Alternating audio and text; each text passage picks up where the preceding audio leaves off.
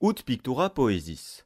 Ces quelques mots de latin ont une importance considérable dans l'histoire de la peinture, et nous allons essayer de comprendre pourquoi. Traduite simplement, l'expression ut pictura poesis erit signifie la poésie est semblable à la peinture. Elle provient de l'art poétique, une épître du poète romain Horace. Dans celle-ci, il énonce un certain nombre de principes qui régissent la poésie selon lui. Il prône notamment l'imitation des poètes grecs, le respect de la vraisemblance et des convenances, et assigne à la poésie une fonction morale, qui doit primer sur la seule beauté formelle, faisant ainsi du poète un éducateur. Il en vient aussi à comparer la poésie à la peinture, notant des similitudes entre les deux arts. Les conséquences de ces mots sur l'art pictural sont arrivées plus tard, bien des siècles après la mort d'Horace, lors de la Renaissance, où ils ont été utilisés par les peintres pour soutenir leurs revendications.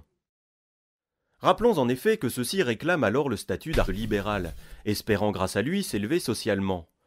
Dans ce contexte, mettre en parallèle la poésie et la peinture, c'est capter le prestige de la première pour le transmettre à la seconde.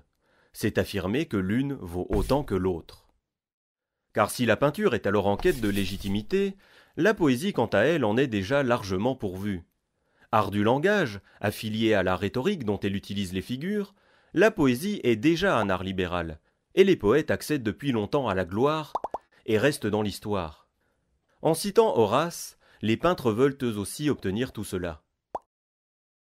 Ce n'est donc pas sans raison que Léon Battista Alberti écrit dans son De Pictura que l'entreprise la plus haute du peintre, c'est l'histoire, et qu'il en vient à réduire tous les éléments représentés dans un tableau à des morceaux de récit, faisant notamment des personnages le support de celui-ci. Bien entendu, cela faisait déjà longtemps que l'on mettait des histoires en images, mais il n'y avait pas alors de théorie pour insister sur l'aspect libéral de cette pratique, ni pour expliquer que l'image elle-même était un objet rhétorique. Qui plus est, ces images étaient destinées à une communauté, venue dans le cadre d'un rituel religieux, éprouver un récit biblique qu'elle connaissait déjà et non à une élite cultivée, seule capable de reconnaître des références mythologiques ou littéraires, parsemées dans les tableaux par les peintres de la Renaissance, et inaccessible au commun des mortels. C'est ainsi que les peintures sont devenues des objets à décrypter, des mosaïques de symboles unifiés par la perspective. Il s'agit donc d'envisager le tableau de la même manière qu'un discours, d'y chercher de l'éloquence, un message moral, des figures de rhétorique et des inventions poétiques. Par exemple, le choix des couleurs, qui peut nous sembler parfois incongru, ne répond pas à une logique réaliste, mais à la volonté de créer un rythme visuel pour guider le regard du spectateur dans son déchiffrement du récit. Juxtaposer des couleurs complémentaires, créer du contraste, revient à émailler le discours pictural d'effets rhétoriques pour le rendre vivant. Seulement voilà, cette assimilation de la peinture à la poésie, théorisée par les artistes de la Renaissance à partir d'Horace, repose en fait sur un contresens. En effet, lorsque le poète romain compare les deux arts, ce n'est pas pour dire qu'ils sont de même nature, mais pour expliquer que certains poèmes sont plus frappants dans leurs détails, tandis que d'autres le sont dans leur ensemble, tout comme il existe des tableaux qui font plus d'effet vus de près que vus de loin, et vice-versa. Il ne faudrait cependant pas croire que cette interprétation erronée est une simple erreur des théoriciens de la Renaissance. Non, elle est parfaitement volontaire. Rappelons qu'à l'époque, l'enjeu pour les peintres, c'est de revendiquer le statut d'art libéral pour la peinture. Détourner ainsi les écrits d'Horace est un moyen d'y parvenir.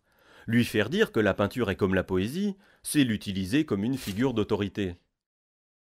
Ce tour de passe-passe sémantique a d'ailleurs très bien fonctionné, au point que pour près de trois siècles, peinture et poésie deviennent inséparables.